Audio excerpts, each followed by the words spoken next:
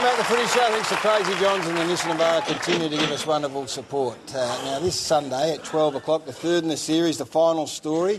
Been looking back at some of the great grand finals over the past 40 years. And this uh, weekend, it's time to focus on the 1991 grand final between the Hawthorn Footy Club and the West Coast Eagles. Topical, of course, the Eagles in the hunt again this season. It was the first grand final at Waverley Park, good first and last, in actual fact. It was the first grand final for the West Coast Eagles. And while the battle that was playing out on the ground was an intriguing story, there was another more personal battle taking place between a couple of very significant players who we'll talk to in a moment. But before we do, let's take a look at what you're going to see Sunday.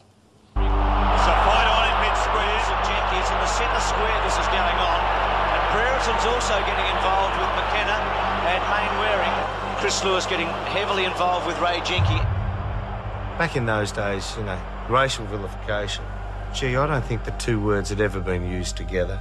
So we went and gave it to Chris Lewis. And I reckon that boiled over. Oh, look, it cut pretty deep. Yeah. Like I said, I was only a young boy trying to go out and do what I did best, and but I'd never really experienced any of that sort of stuff until I played AFL. Chris Lewis's greatest strength was his ability to cope with, with that type of pressure, which was the norm in those days. Absolutely disgraceful. I don't think eras have anything to do with it.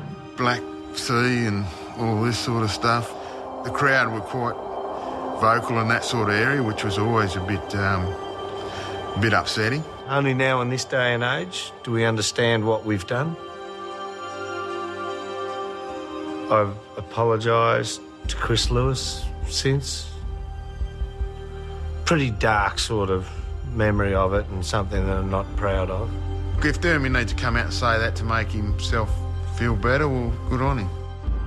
Probably a, a recognition and a, an admission of a bloke that's fair dinkum about understanding what, what he may have done in the past and trying to right a wrong. Chris was reported on a couple of occasions. In my mind, I have no doubt that he was vilified. After getting suspended and not being able to play because of retaliating and all that sort of stuff, you, you just sort of learn to put up with it. We accepted it, and we, we've got a lot to pay for that as a nation, as a, as a, as a league, and as individuals. We was a little bit disappointed that we probably didn't, as a club, push the issue a bit further. But I think it was one of those areas that we all didn't want to go to because it was a bit prickly. Football wore him down, and from a young man when I first went to that football club a big, beautiful big smile, that become more and more tested through his career, and more the shame. We look back now and sort of wonder, well, how did that happen? Just thank God we've improved as a sport.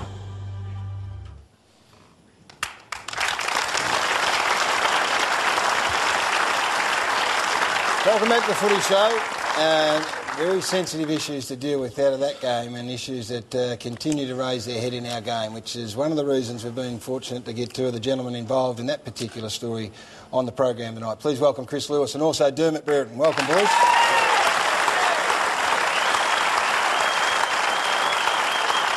I'm going to get to you shortly.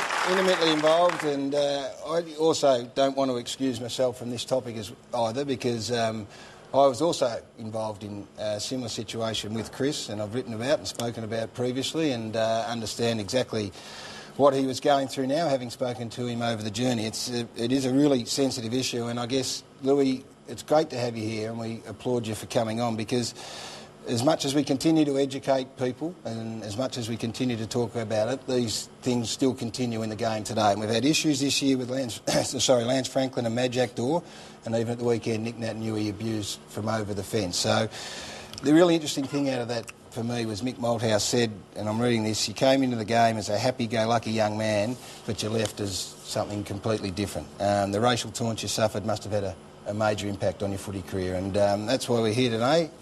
Tell us about you know, that experience. Uh, oh, look, he's probably probably right to a certain extent. Um, as a just a young fella growing up, all you want to do is play footy, and uh, look, I'd, I'd, never come across any of that sort of stuff until I'd played uh, well, VFL back then. So um, yeah, it was an interesting learning curve, and, and certainly there was uh, you know situations and times where uh, your focus was taken off the thing that you, you love the most and, and probably what you like to think that you, you're good at. So, yeah, it was a it was an interesting time. But look, we we sort of battled through that, and, and, and obviously the the things that are put in place these days are. Uh, uh, help young blokes come through with a you know bit bit, bit of a easier transition. Well, Louis, I think uh, Mick's words were with a beautiful big smile. I knew you when you had a beautiful big smile because, of course, you, my dad played with your dad Yep. for Claremont, and then you played a lot of football with my brother for Claremont. The Lewis family has a huge heritage of, of amazing football in the West. You said you didn't experience it to the VFL. Is that because in the WAFL, the, the aboriginality of the game over there had been really prevalent for 50, 60 years, you know, and, and whereas in the VFL, oh, we got the great Michael Long in the audience, it's not till more recent times that we've seen so many of the magnificent Aboriginal footballers. Yeah, look, that probably could be the case, you know. And uh, look, some of the, the, the, the blokes that changed the game, you know, Farmer and Cable, have, have you know, were in that, that league. So uh, there was, uh, I suppose, WA footy was a little bit more, you know, used to seeing Indigenous fellas running around. But look, I, I dare say that probably didn't happen on the track over there as well. But uh, yeah, like you said, we, we, it was a bit of a learning phase, and I, I'd like to think that uh, the powers to be in the game and, and people who are involved and with, with football clubs are a little bit more wiser and a little bit more uh, prone to doing the right thing, which is uh, pretty important. Now, Dermott, I know you very well, and I know you are genuinely remorseful for that era. Was it a case just then of winning at all costs and any rules went and we've learned and moved on, or what stimulated or motivated you to do that? I would suggest just the fact that it might have been gamesmanship.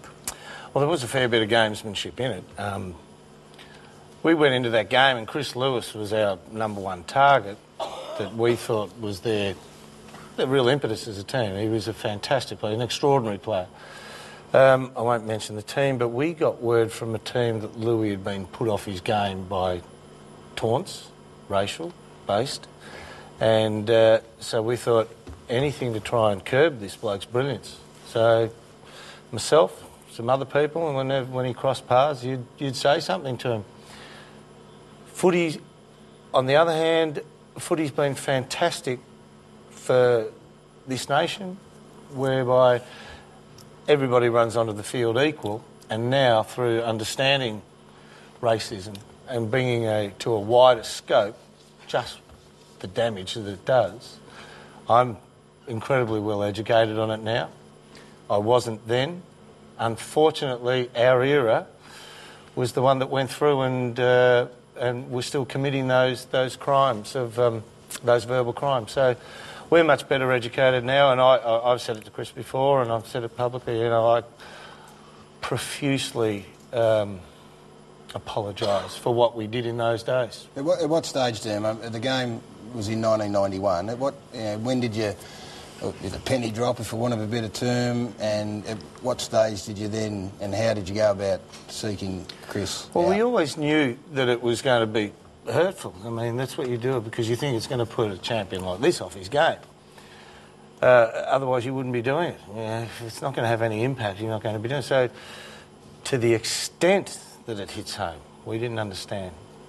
In the years thereafter, it became uh, we got better education, I suppose. I just saw Longy on the.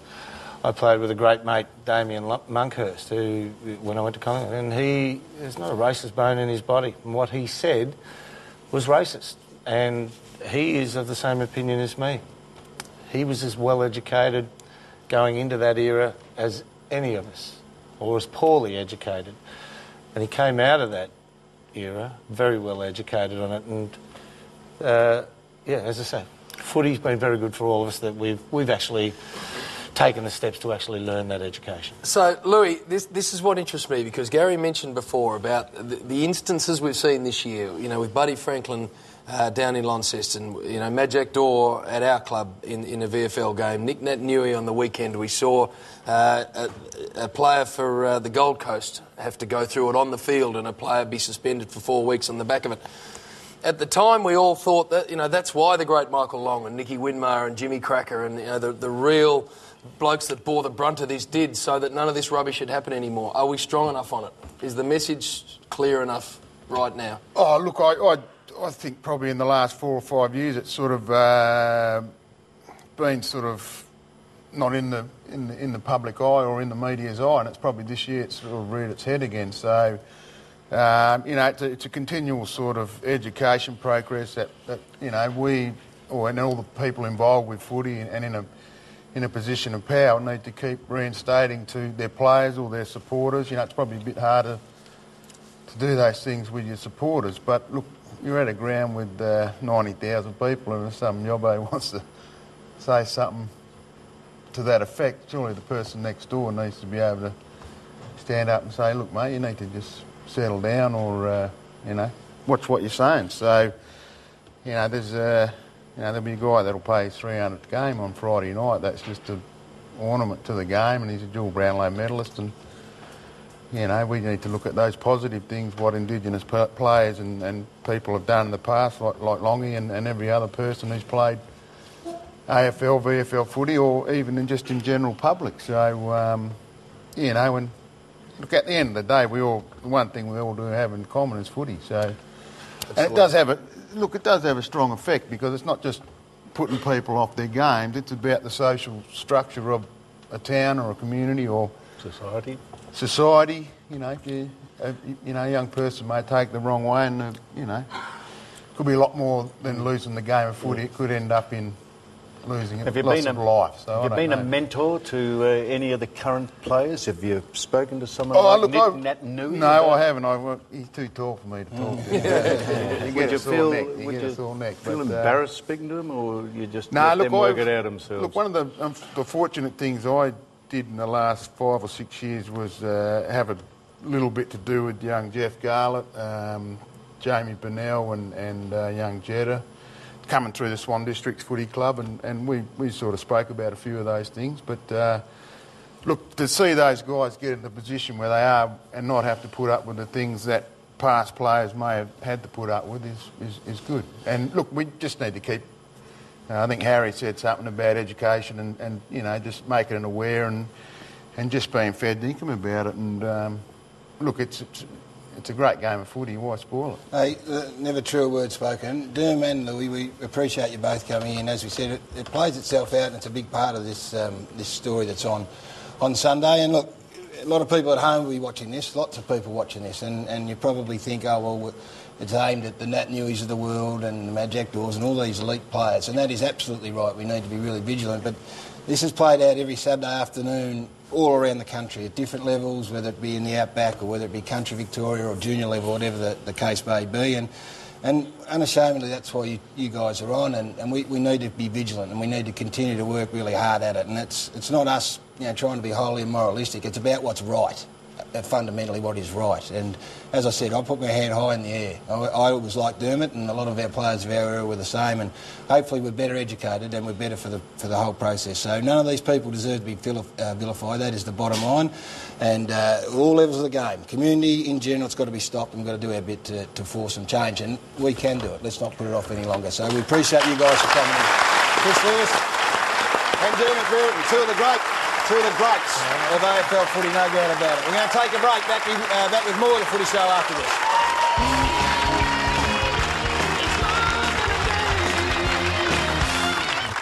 Just before uh, we throw back to you, we need to say that we saw this man earlier, Michael Long, ladies and gentlemen, the great man. Norm Smith, well winning Premiership superstar. Now, Longy, we saw you how long? Two a month or so ago? About 10 weeks. Okay, and uh, the uh, the goal at that stage was to lose 10 kilos, so a kilo a week. Yeah. Now, you can tell us that you've lost how much? We're up to 17 kilos. 17 kilos. So just a tick under 20, uh, Jen for men. So how do you go about it? This is obviously Jenny Craig.